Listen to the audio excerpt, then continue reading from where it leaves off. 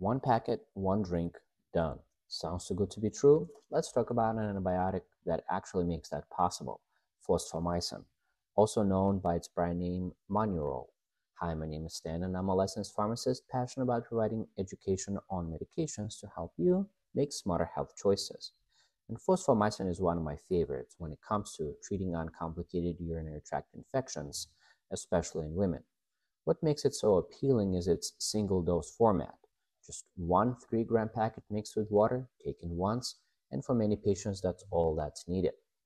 Fosfomycin works by inhibiting an enzyme called MuRA, also known as enol pyruvyl transferase, which plays a critical role in bacterial cell wall synthesis.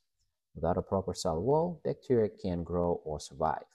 And this mechanism makes fosfomycin effective against many common UTI causing bacteria, including drug resistant strains of E. coli and Enterococcus faecalis. But while it's a convenient option, it's not one size fits all solution. Fosfomycin is FDA approved specifically for uncomplicated UTIs in women. It's not meant for more serious infections like pyelonephritis, prostatitis, or recurrent UTIs, especially in men.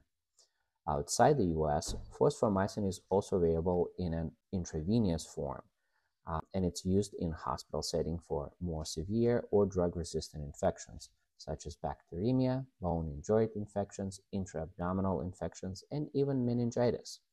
In those cases, it's typically used in combination with other antibiotics and under close clinical monitoring.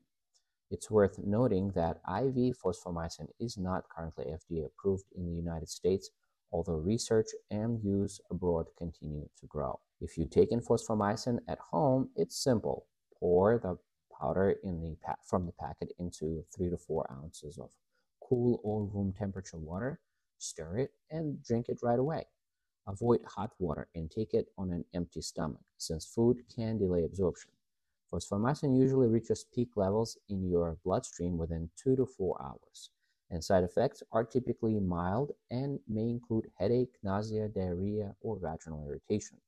Severe reactions are rare but should be reported immediately, especially if watery diarrhea, which could signal something more serious. So, yes, sometimes one dose really is enough, as long as it's the right antibiotic for the right infection. Big thanks to my colleague Vanessa for helping with this content. Your insights were invaluable. And thank you for watching this educational video. If you found this helpful, please like, subscribe, and share it with someone who might need it. Stay healthy, and I will see you next time.